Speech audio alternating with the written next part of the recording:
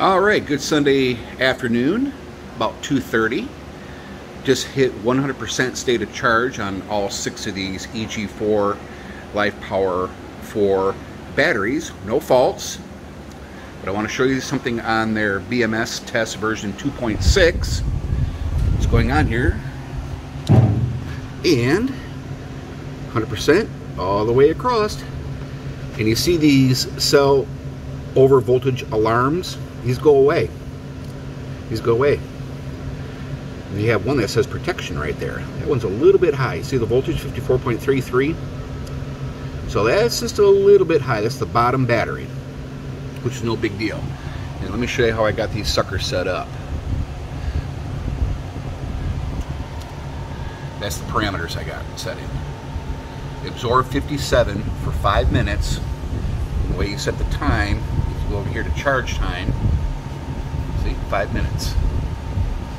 Bada bing. On all three of them. You have to do all three of them, even in follow me mode, but all three of them, as you can see, green light, green light, green light, float. So everything is good to go. Floating power. And if you're saying, oh, that's too damn high, well, it actually, it's well within specs of these EG4 Life Power 4 batteries, setting them absorb 57 volts, way below, like a volt and a half low. and when I was watching these things come up, you know, the total voltage right here, let me get in a little bit closer, and none of them got up. the, the one that was the closest to 57 was 56.8 on the individual voltage. Most of them were like 56.3, 56.4. So they didn't even get close to 57 volts. And like I said, these will all go away.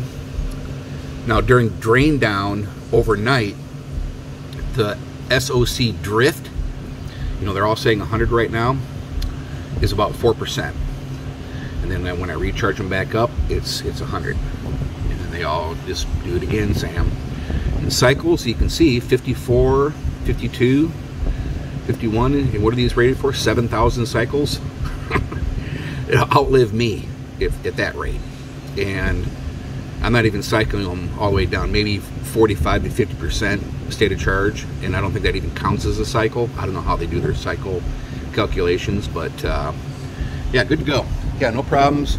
I'm only inverting 3,500 watts off this Outback, which is great. When you have, I have 9,000 watts of solar panels coming in to this system, right?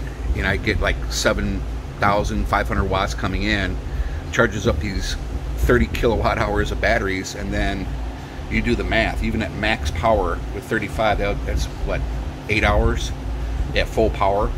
So kind of I could go bigger with a bigger inverter but you know or even 240 split phase put two of these together.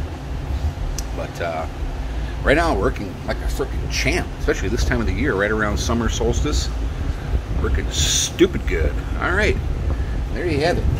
So these guys are good. Everything is good. No alarms. Four bars on all of them. As you can see, working good. Just like a refrigerator, stove, microwave, dishwasher. That's what I want it to do. No drama. All right, have a good Sunday. See you.